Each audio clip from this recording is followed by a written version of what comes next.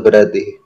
Lah iya, iya melu wong oh, koyo oh, oh, podo teroris Nah, waktu masih di garis keras seperti itu, nah, berapa orang yang orang ya, garis keras apa orang Jawa beneran ngono wae. Kan Abi ikut berarti kan ikut di dalam teroris itu toh. Ya Hadi ya Bashir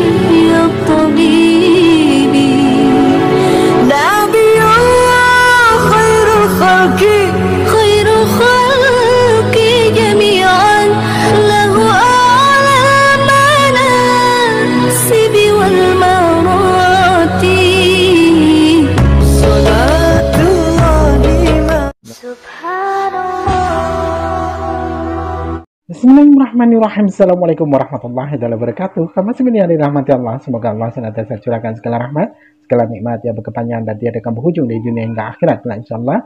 Dan Allah pun kumpulkan kita, para kaum muslimin di bawah naungan aras Allah, beserta para nabi, beserta para orang-orang yang Allah kasih, Allah sayangi, Allah cinta insya Allah, di bawah naungan aras Allah kelak di mana tiada naungan selain daripada naungannya insya Allah. Amin, amin, Allah, amin. Kaum muslimin, pada kesempatan uh, siang hari ini saya akan mengulas sebuah video di mana video ini mengisahkan tentang bagaimana saya Pudit Ibrahim kamu uh, berdebat ya yang pada akhirnya kembali ke dirinya sendiri ketika fitnah itu dilontarkan dari lisan bodohnya.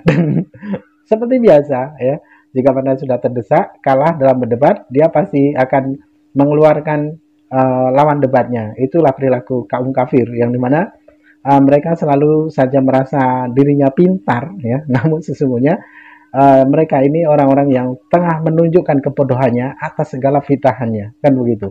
Jadi uh, bikin kita tertawa kamu muslimin oke demikian kamu muslimin videonya. Halo? Halo? Halo saya di Jogja pak. Oh monggo.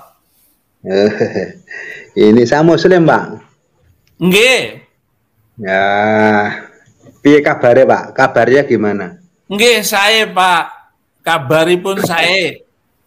Ya, bagus. Nih. Ini Abi mau tanya ini.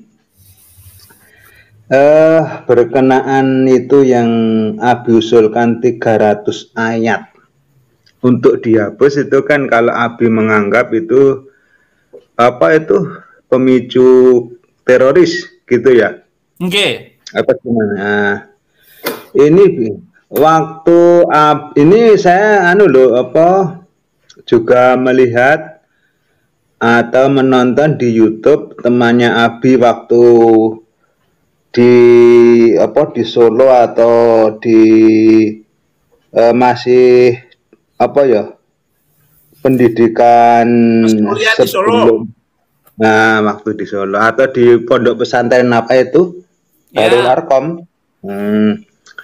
Ini gini, Bi. Eh, uh, 300 ayat itu kan menurut pemahaman aku yang saya terima, Bi, itu kan oleh Abi digunakan untuk mendoktrin di kalau nggak salah di Darut Tauhid atau di di mana Abi mengajarkan waktu itu toh ya. jadi guru itu. Nah, gini Bi, Abi mengajarkan seperti itu apa memang dari Abi sendiri atau mungkin dari teman Abi atau mungkin dari pendahulu Abi gitu loh. Ya, yang ditanyakan. Ya yang 300 ayat itu yang ter teroris itu yang menyebabkan teroris itu yang uh, sama Abi di apa diusulkan untuk dihapus itu. Iya. Masalah kan kamu kamu iya. di Jogja kan Oke.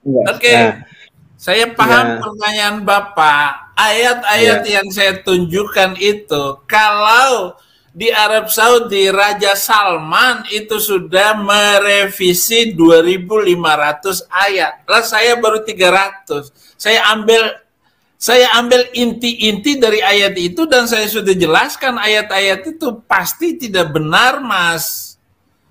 Wes ora benar iku. Wong kok mateni wong iku apa?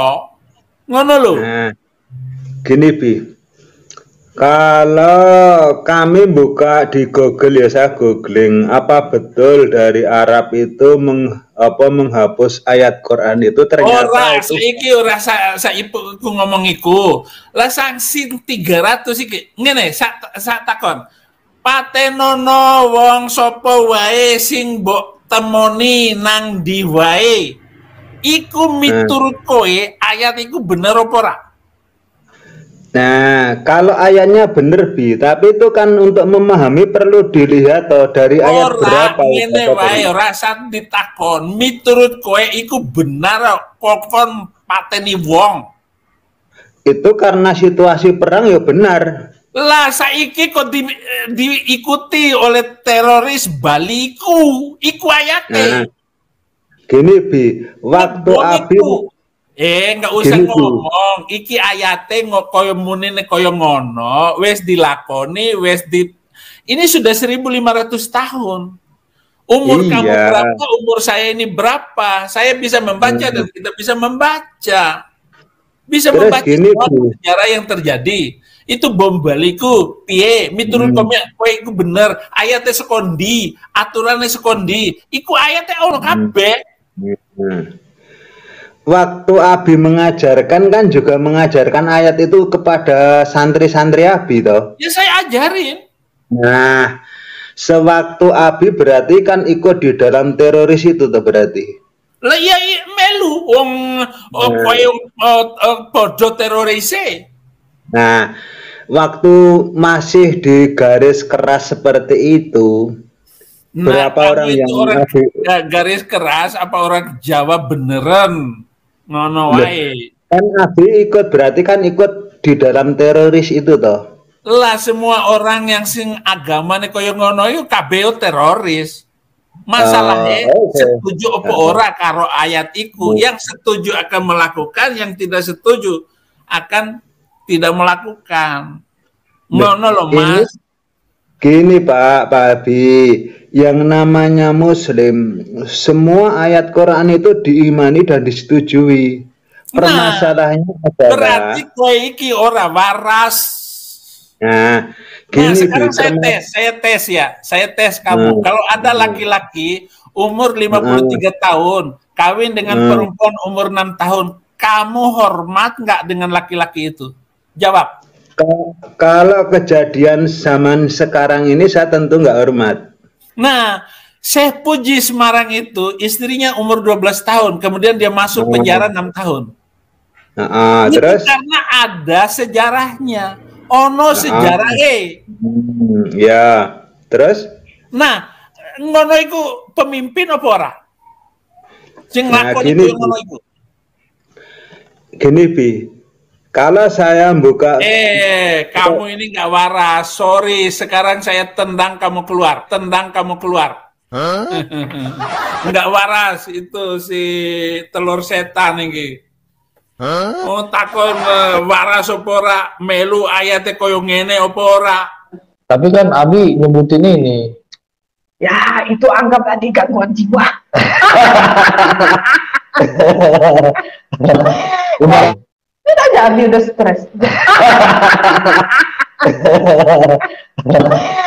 Haleluya. tepuk tangannya begini di TikTok jalan. Oke. Abi mau ngapain di Amerika sendiri di sana? Anak-anak keluarga di sini. Sebagai pemulung sampah.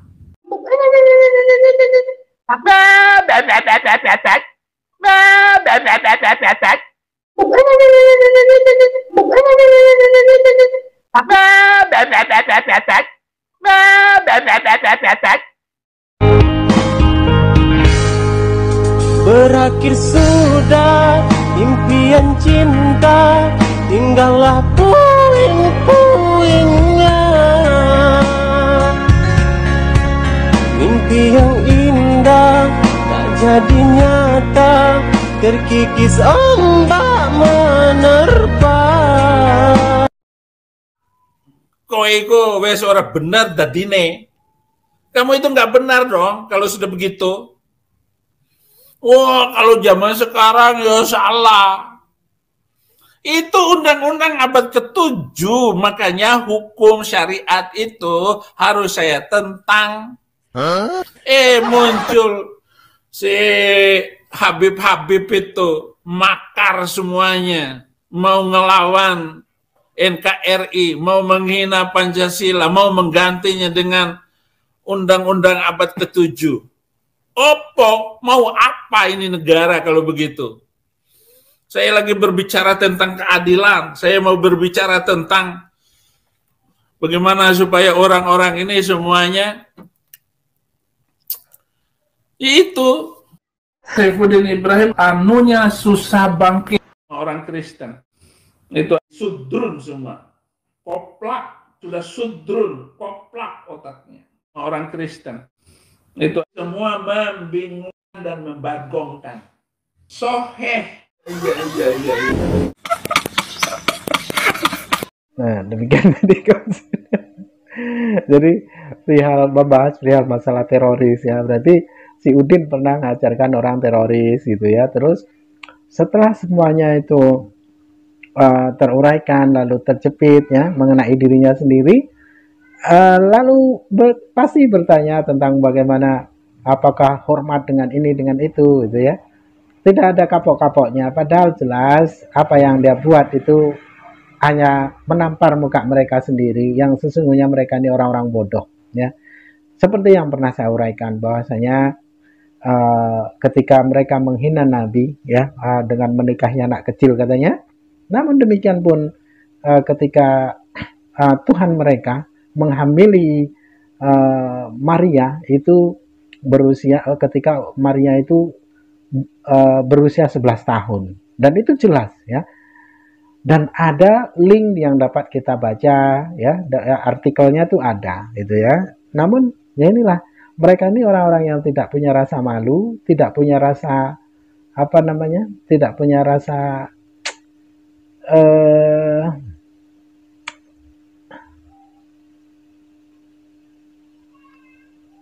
intinya uh, mereka ini adalah orang-orang yang bermuka tembok gitu ya. Melontarkan segala sesuatu tuduhan-tuduhan namun mereka sendiri tidak membaca uh, reteratur-reteratur buku-buku yang ada di dalam kekristenan itu sendiri yang di mana mereka ini mengimani dari segala sesuatu apa yang ada di dalam Kristen ya. Nah ketika mereka uh, ditunjukkan bagaimana reteratur yang ada di dalam buku-buku Kristen ya tentang bagaimana silsilah ya silsilah Yesus itu bagaimana tentang bagaimana uh, apa perjalanan hidup Yesus dan keluarganya mereka ya begitu marah gitu ya bahkan kalau kita tengok dari silsilah Yesus yang menjadi sembahan mereka ini ya dari Matius 1 sampai uh, 23 itu ya Matius 1 uh, ayat 1 ya uh, dari sampai 3 itu jelas di sana bahasanya Yesus itu nenek moyangnya pezina. Jadi uh, Yesus itu keturunan keturunan para pezina itu. Namun mereka tidak pernah membahas itu ya, dan mungkin mereka tidak tahu gitu. Mereka tidak tahu karena ketika dulu saya berdebat, ketika mereka meng, uh, mengolok-olok umat Islam dengan uh, baginda Nabi Muhammad ini bukono begini begini begitu saya tunjukkan silsilah Yesus itu ya sampai ke Daud mereka marah ya. padahal itu jelas tertulis loh ya tertulis uh, dengan runutan-runutan siapa nenek moyang Yesus itu ya dari Daud itu dari uh, apa nama dari ibunya ya sampai ke nenek moyangnya ini gitu ya dari Daud pokoknya sampai ke Daud gitu ya silsilahnya tuh. Itu bahasanya Yesus itu keturunan para pesina karena ketika Tamar itu ber ya bersundal-sundal begitu itulah keluar uh, nenek moyang Yesus itu ya sesembahan mereka oke demikian saja kaum muslimin yang dapat saya sampaikan. Saya Iri Wassalamualaikum warahmatullahi wabarakatuh